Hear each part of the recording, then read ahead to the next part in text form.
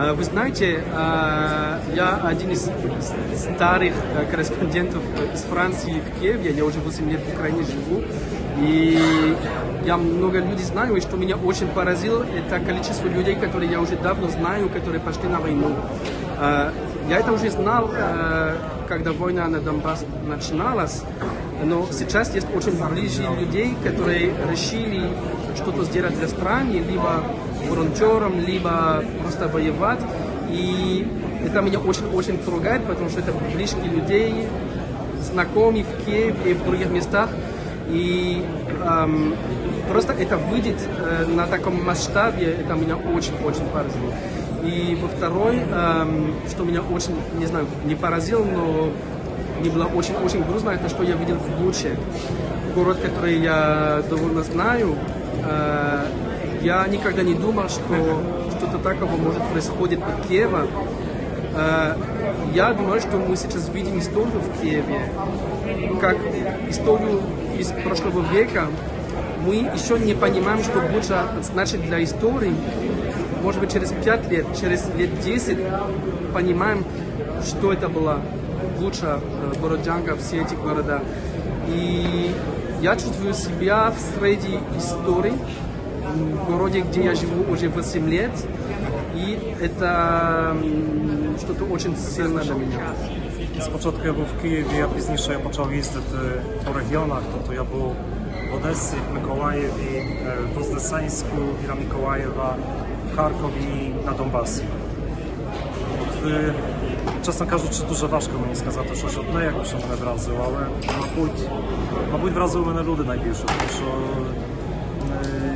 найбільше люди, які просто навіть ці, які зі зброєю в руках е, захищають Україну, але ці власне, які без зброї в руках е, вміли вийти на вулиці проти, е, проти російських військових.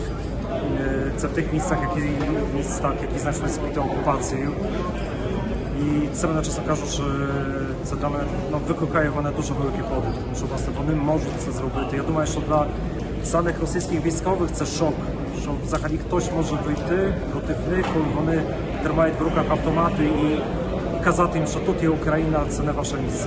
Ну, перше, загальна річ, да, це те, що наскільки український народ, українська влада, українське військо виявилося справді настільки потужними для того, щоб давати опір такій переважаючій силі агресорів. Я думаю, це здивувало насправді приємно здивувало насправді дуже багатьох. З якогось персонального експірієнсу, це ось ми з колегою буквально нещодавно їздили на звільнені території Київщини, зокрема під Гостомель, села під Бородянкою.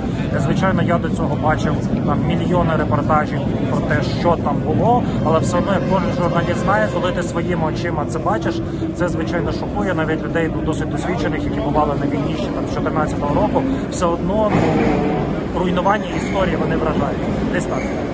Вы знаете, очень много чего ужасного, которое можно было вспоминать, но я хочу сказать, что мне поразило этот мим, который появился после того, как утонули эм, Москву.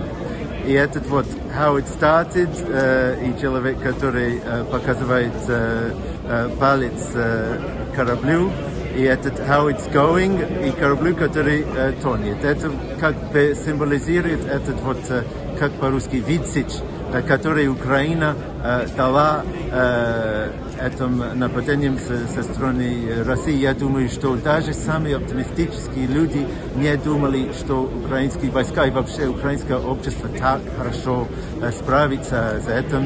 Э, и мы можем только надеяться, что так и будет и далее.